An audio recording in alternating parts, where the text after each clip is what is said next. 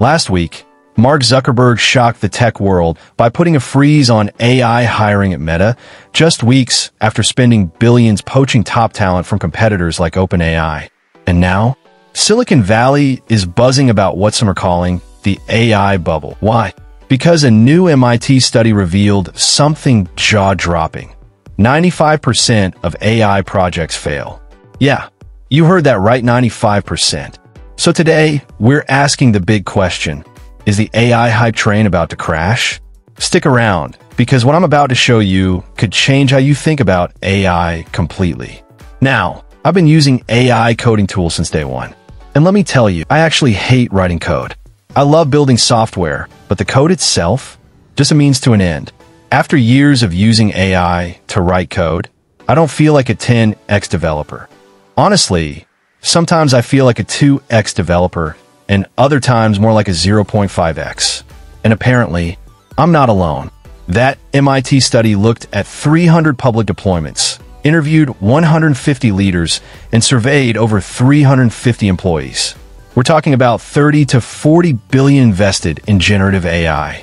And yet, 95% of those projects failed to drive real business results.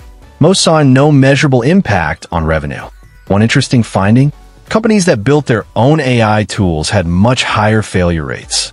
Why? Because instead of paying for an existing AI solution, they built worse versions themselves. Meanwhile, the companies that invested in third-party tools actually did a little better. So yeah, right now might be the perfect time to be selling AI shovels in this gold rush. But not everyone failed. Take Ignite, for example. Back in 2023, their CEO fired 80% of developers and replaced them with AI. Two years later, he's bragging about 75% profit margins with zero regrets. So what's the real takeaway? According to MIT, it's not that AI models aren't smart enough. It's that humans just don't know how to use them properly. In other words, skill issue. Success with AI depends less on the technology itself and more on how it's applied. Studies show that most failures come from poor integration, lack of clear goals, and weak workflows. On the other hand, the few success stories highlight a pattern. Companies that invested in proper training, aligned AI with real business needs, and started with small, measurable projects saw lasting results. The key takeaway is simple AI is not a shortcut to instant success. It's a tool. And like any tool, its impact depends on the skill and strategy of the people using it.